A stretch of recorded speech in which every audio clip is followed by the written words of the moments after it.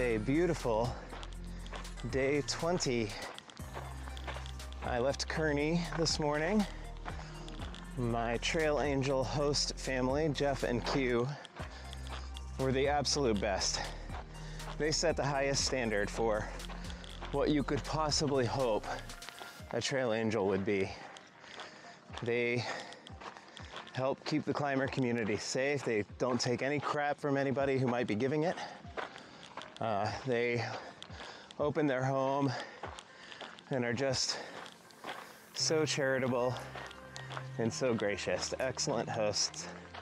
I hope someday they are on their way through Pittsburgh and I have an opportunity to host them and return the favor. So right now I'm just closing in on about seven miles of walking. Oh, there it is. And uh, I don't know how far I'm gonna go today.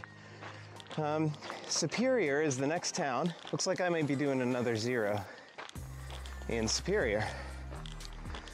Um, that might seem like a lot, but the truth is, I've been putting down more miles per day than I expected I would, and it's been feeling pretty good. And uh, there's still a lot of snow between Pine and Flagstaff, so I think taking a few extra days since I'm on track with my mileage requirements to finish in the time frame I have. I think that makes sense because I can let the snow melt. There have been folks who are ahead of me on the trail who somewhere between Pine and Flagstaff have called it on their spring northbound adventure due to the amount of snow and the difficulty in traversing it. And I might have to make the decision to stop my northbound trip.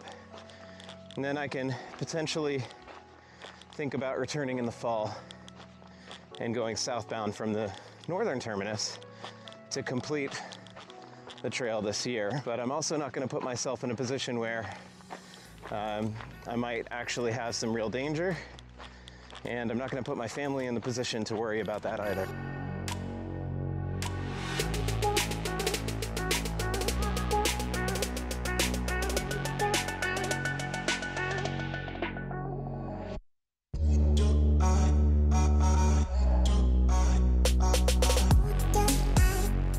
To take a little break. About, what am I now? Eight and three quarters, a little less than nine miles in. Um, my longest day was just over 24, and we took breaks every eight hour or every eight miles. So if I am doing that today, then I might get 24 or so miles in, maybe 25, um, which wouldn't be too bad. But you know, I'm not like aiming for anything in particular. Excuse me, but. Um, you know, just seeing how the day goes. It's about 11 o'clock. Um, and if I keep rolling like this, then I think before it's time to really set up camp, I could definitely get 24 25 miles in.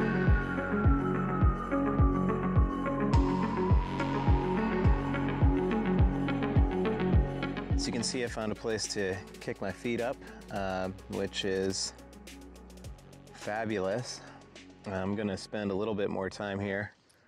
Um, it's about, it's close to 1.30 in the afternoon. I've done about 14 miles. And uh, there is two and a quarter until the lowest point on the Arizona Trail. So we'll be sure to check that out. It's also the last good water source at the Gila River before we turn north away from the Gila River. And then it's, I think, another, I don't know, 10 miles to the rainwater collector, which was installed by the Arizona Trail Association because this area that I'm headed into is fairly dry, or can be fairly dry. So they have this rainwater collector for a good water source. There's also good camping at that rainwater collector and beyond.